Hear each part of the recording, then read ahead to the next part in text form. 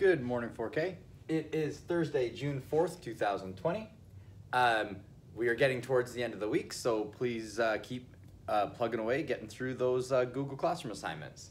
Um, our Did You Know fact today is uh, Did you know that the town of Monowi, Nebraska has a population of one?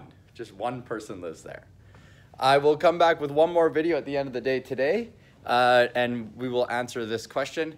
The question is, uh, what did we answer, or sorry, what do we answer even though it doesn't ask any questions?